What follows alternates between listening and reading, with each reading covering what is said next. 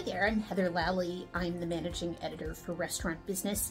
I've been going to the show for quite a few years now, but I always get uh, very excited to try all of the new plant based items on the show floor. I'm vegetarian, so that's always fun.